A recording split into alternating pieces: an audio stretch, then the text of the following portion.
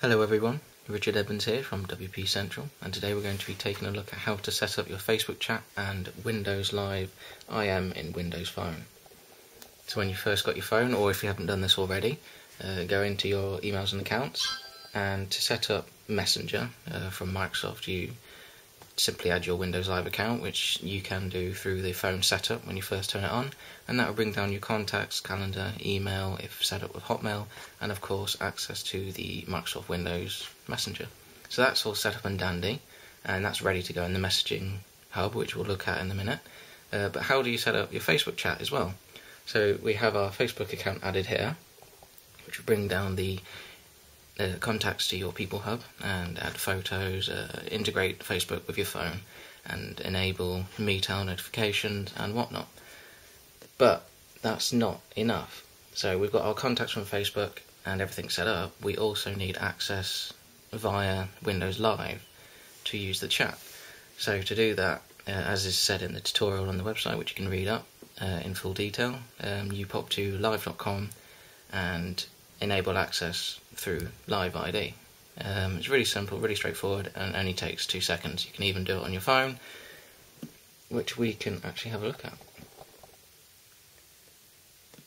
So if you just pop to live.com, right, so now we're signing in.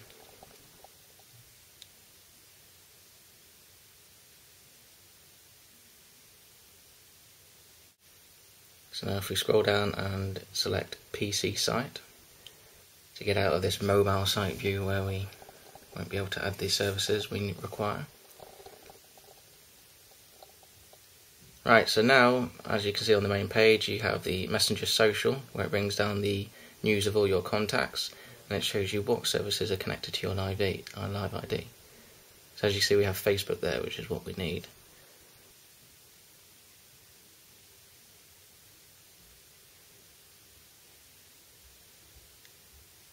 Here we are we have Facebook. And you can add it you'll need your um, login information for your Facebook account for Facebook Connect to, to actually connect to your live ID and once it is connected you'll need to oh Twitter. You'll need to make sure all the enough permissions are granted for the account so uh, your phone will be able to access and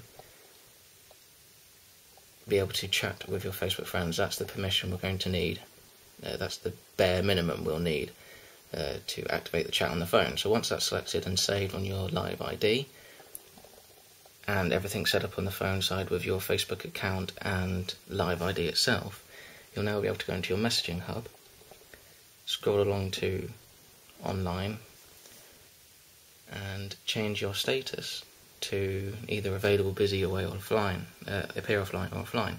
So first of all we have uh, available which will activate both the uh, messenger and Facebook chat.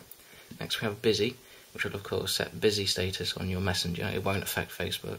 Away, same as busy. Appear offline which will obviously set your status to invisible on messenger and it will also sign out of Facebook chat because that doesn't have the same functionality and offline will keep you offline off both accounts. So if we select available and this will now log in to both Messenger and Facebook chat and it will bring down who's available. So that's all the contacts ready to chat to. And in the threads, where you have SMS and everything else, you'll be able to. I don't think I'll be able to. It's a read only message. Uh, you'll be able to switch down here. There'll be another icon for switch, and you'll be able to choose which service you'd like to use on that contact. But if you cannot connect for some reason to Facebook chat itself, you have to go into your settings in the messaging hub and ensure that Facebook chat is activated. And that is it. You'll now be able to chat to all your friends on Facebook and Messenger on your phone while on the go. So you can read up the full article on wpcentral.com for more information, images, and the walkthrough itself. And have fun chatting to everyone. Thanks very much for watching. Take care.